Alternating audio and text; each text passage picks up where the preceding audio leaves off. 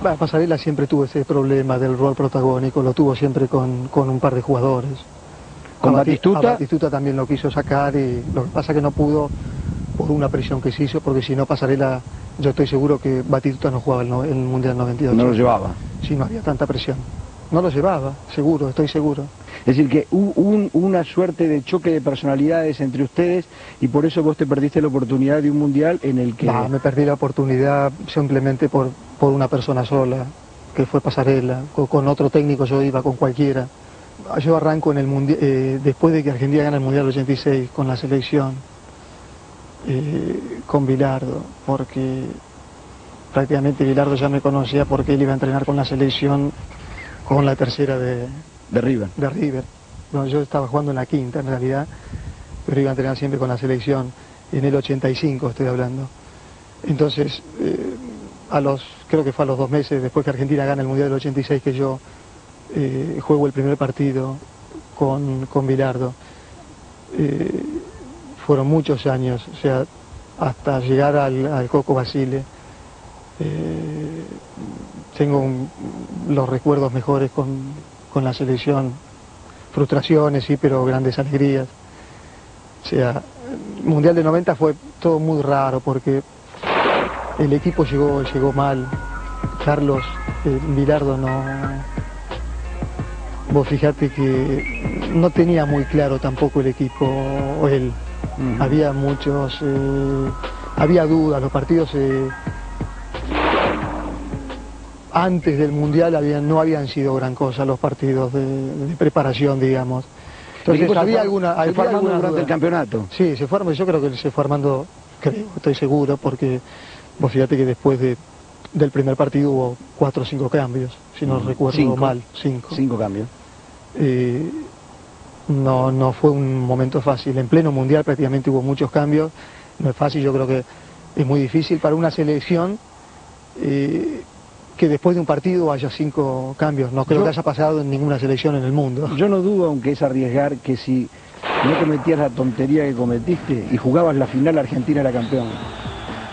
Yo creo que, mm, ah, no por presuntuoso ni nada, pero seguramente eh, hubiese hubiese cambiado, seguramente hubiese tenido posibilidades de, de, de hacer un gol o de, de crear eh, alguna jugada, un penal, un gol. Claudio, y, y- Algo. y el Mundial de Estados Unidos fue toda una frustración. Sí, porque Argentina- ese creo que fue más frustración. Porque Argentina arranca bien, hay una imagen histórica tuya pidiéndole en el partido con Nigeria la pelota a Diego que no se avivaba de una jugada que vos tenías pensada. Tres minutos, hay que estar este, por delante de Maradona en una jugada, porque en esa jugada Diego no la había visto, lo ves vos esa jugada. Sí, Digo, hay que no estar. la veía, ¿no? Eh, él no la veía, vos la, vos la que no la eh. Es cierto que es difícil que no la estar- el- el- Pero digo, ese equipo estaba ahí. Es obviamente que, que Maradona le da la pelota y ya sabe dónde están los... Sí, él siempre está adelantado. Sí. Esa vez estabas él adelantado. siempre vos. sabe dónde están los, los demás. Ahora, ¿qué pasó? Increíble. O sea, lo que ¿Vos te crees decía que, lo, anteriormente. ¿Vos crees que lo trampearon a Diego ese día? ¿O Diego hizo una macana? A Diego, Diego fue al Mundial, le dijeron tenés que ir, eh, sea como sea, lo necesitaban, lo usaron y después lo, Lo dejaron volar. y después lo dejaron. Esa fue la... Esa es la historia. Sí. Ese fue un momento muy duro para Los todos. americanos necesitaban una figura como Maradona. La FIFA. Querían que Maradona estuviera, le dijeron prepárate. Es como sea, no importa, queremos que estés. Y después pasó lo que pasó. Es decir, que no jugaron con armas limpias para con No, Maradona. no, estoy seguro que no. Ese fue un momento duro cuando se enteraron que Maradona era excluido del campeonato. ¿En algún momento pensaron ustedes en Por eso era lo que era lo que te decía, disculpame, Sí, era lo que te decía recién. Fue para mí fue más frustrante justamente el mundial de de Estados Unidos. para mí mucha gente dice fue más frustrante seguramente el mundial del del 90, ¿por qué? Porque perdimos en la final. Sin embargo, no, yo considero que fue más, más frustrante el mundial de 94. Porque vos veías que el equipo estaba Porque- para campeón. Claro, exactamente.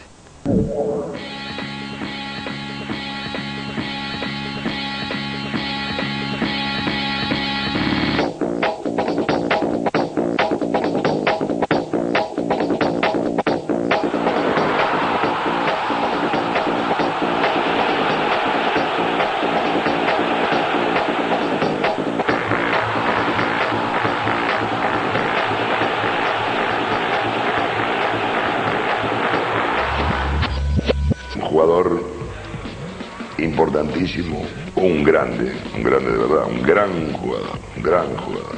Aparte tiene, tiene carisma también, no sé si la melena rubia y todas esas cosas también es más llamativo, se ve mucho más ¿eh? lo que hace. Pero yo creo que el momento cumbre fue la, selección mía, ¿no? Lástima no lo pude tener un club, ¿no? Que nosotros los técnicos de selección, cuando dirigís una selección, lo tenés muy esporádicamente. Y entonces, cuando no lo tenés, ahí es donde lo extrañas. Cuando te tocó el tema del doping, aquella historia, ¿eso fue culpa tuya? ¿Te engañaron? ¿Era joven? ¿Qué, qué pasó? No, ahí seguramente fue una equivocación mía. ¿Una equivocación tuya? Sí. Ese seguramente fue un error, eh, una equivocación, seguramente es una, una de las cosas que me puedo arrepentir siempre, vestir la camiseta de la, de la selección, creo que sea el orgullo más grande para un jugador de fútbol. No solamente por, por prestigio, porque por dinero no es obviamente, porque el dinero el jugador lo gana lo gana en los clubes. En, otro, en otros clubes. Por eso yo dije que a mí me había, me había molestado mucho cuando jugadores no habían no, no digo varios varios jugadores que no habían jugado en la selección en, en, el, en la Copa América seguramente por los managers por los presidentes del club no tanto por, por los jugadores y, pero en la selección argentina siempre yo digo no es por obviamente que no es por plata no es por plata no, no va a ser nunca por plata la selección es pero la selección le sirve al jugador para irse a otro lado y ganar más dinero. Entonces el jugador tiene que estar agradecido cuando, cuando es llamado a representar a, tu país, ¿no? Yo viví momentos bárbaros, aprendí mucho, más, quizás más jugando con la selección argentina, me sirvió mucho más que haber jugado en todos los clubes que, haya jugado, pero por el simple hecho de, tener puesta la, la blanca.